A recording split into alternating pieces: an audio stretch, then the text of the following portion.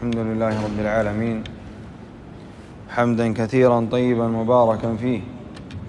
كما يحب ربنا ويرضى وأشهد أن لا إله إلا الله وحده لا شريك له وأشهد أن محمدا عبده ورسوله صلى الله عليه وعلى آله وصحبه صلاة وسلاما إلى يوم الدين أما بعد.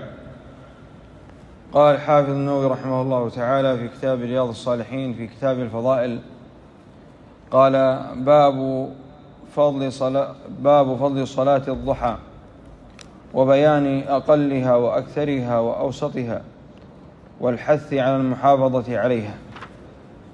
لا زال المصنف رحمه الله تعالى يذكر نوافل الصلوات وما جاء فيها من الأجور والحسنات. قال رحمه الله تعالى باب فضل صلاة الضحى. وبيان أقلها وأكثرها وأوسطها والحث على المحافظة عليها. ثم قال رحمه الله عن أبي هريرة رضي الله عنه قال أوصاني خليلي صلى الله عليه وسلم بصيام ثلاثة أيام من كل شهر وركعتي الضحى وأن أوتر قبل أن أرقد متفق عليه. قال النووي رحمه الله والإيتار قبل النوم إنما يستحب لمن لا يثق بالاستيقاظ آخر الليل. فإن وثق فآخر الليل أفضل. قد تكلمنا عن هذه المسألة في الدرس السابق. هنا في حديث أبي هريرة رضي الله عنه قال أوصاني خليلي. يعني النبي صلى الله عليه وسلم. والخلة هي أعظم درجات المحبة. وهنا النبي صلى الله عليه وسلم كان يوصي الصحابة ويخص بعض الصحابة ببعض الوصايا. فمن ذلك هذه الوصية التي أوصى بها أبا هريرة رضي الله عنه وأوصى بها أبا ذر وأوصى بها أبا الدرداء رضي الله عنهم جميعا. كلهم أوصاهم النبي صلى الله عليه وسلم بهذه الوصية وهي صيام ثلاثة أيام من كل شهر وركعتي الضحى وأن يوتروا قبل أن يناموا. فهذه ثلاثة أعمال صالحة ينبغي للمسلم أن يحرص عليها. لوصية النبي صلى الله عليه وسلم بها لغير واحد من أصحابه لأن هذه الأعمال الصالحة الثلاثة أجرها عند الله عظيم. فأولا صيام ثلاثة أيام من كل شهر سواء صامها سردا متوالية أو متفرقة. صامها في أول الشهر أو في نصفه أو في آخره أو صامها في الأيام البيض أو صامها في الاثنين والخميس. كلها تسمى صيام ثلاثة أيام. فالمسلم عليه أن يحرص على هذه العبادة الجليلة. قد جاء في الحديث أنها كصيام الدهر فمن صام ثلاثة أيام من كل شهر كأنما صام الدهر كله. فهذا أجر عظيم على عمل قليل. قال وركعتي الضحى. سيمر فضلها بإذن الله عز وجل بعد قليل. قال أن أوتر قبل أن أرقد. وقد بينا فضل الوتر وصلاة الليل في دروس سابقة. قال وعن أبي ذر رضي الله عنه عن النبي صلى الله عليه وسلم قال يصبح على كل سلامة من أحدكم صدقة والسلامة هي العظام. وقد عد العلماء العظام فوجدوها ثلاثا وستين عظمة في الإنسان. قال يصبح على كل سلامة من أحدكم صدقة. يعني يجب على المسلم أن يتصدق عن هذه الأعضاء التي فيه وهذه السلامة التي فيه.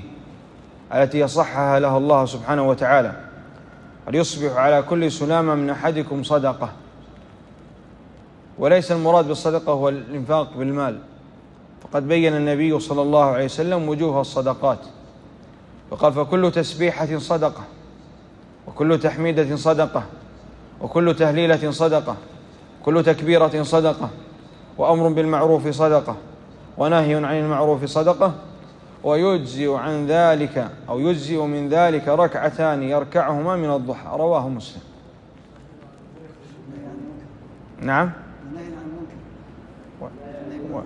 وأمر بالمعروف صدقة ونهي عن المنكر صدقة. ويجزئ من ذلك ركعتان يركعهما من الضحى. ركعتان يركعهما من الضحى.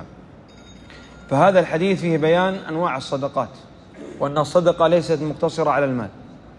فلو سبح لو كبر لو هلل لو أمر بمعروف نهى عن منكر قال كلمة طيبة كل ذلك يعتبر من الصدقة.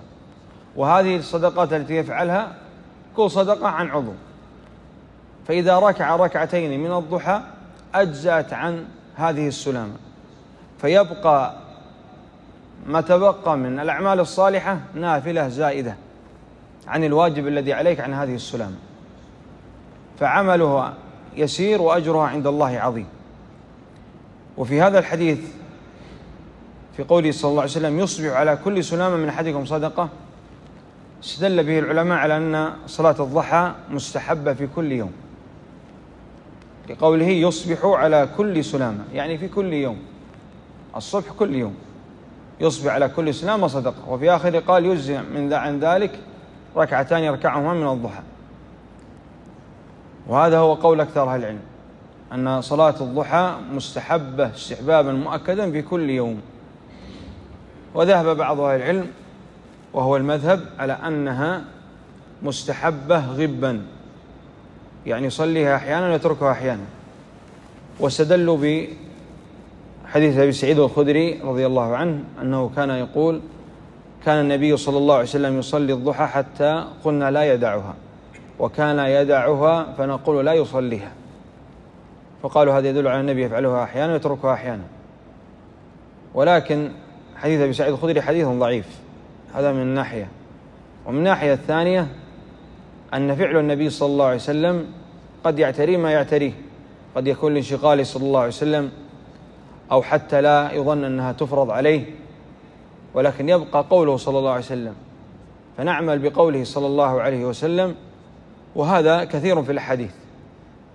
كثير في الأحاديث. قد يقول النبي صلى الله عليه وسلم قولا ويأمر الناس أمرا وقد لا يفعله لماذا؟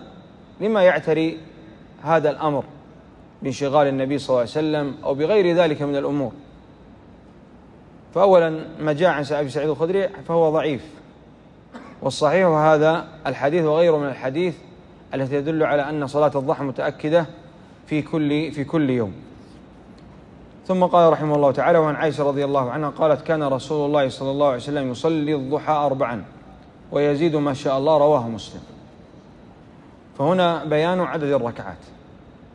عدد ركعات صلاة الضحى ركعتان أقلها ركعتان. وكان النبي صلى الله عليه وسلم يصلي أربعا ويزيد ما شاء. بعض أهل العلم قالوا إلى ثمان ولا يزيد عليها. لحديث مهانة الذي سنذكره بعد قليل. ولكن الصحيح في هذا أن له أن يصلي ما شاء ركعتين ركعتين. لقول عائشة رضي الله عنها ويزيد ما شاء الله. يعني من دون تحديد عدد معين. قال, قال وعن أم هانة فاختة بنت أبي طالب رضي الله عنها قالت ذهبت إلى رسول الله صلى الله عليه وسلم عام الفتح. فوجدته يغتسل فلما فرغ من غسله صلى ثماني ركعات وذلك ضحى متفق عليه.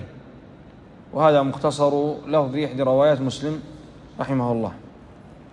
أم هانة تحكي لنا فعل النبي صلى الله عليه وسلم عندما جاء إلى مكة في عام الفتح.